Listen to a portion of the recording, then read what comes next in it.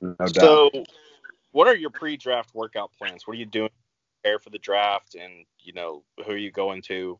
What's your What's your plan?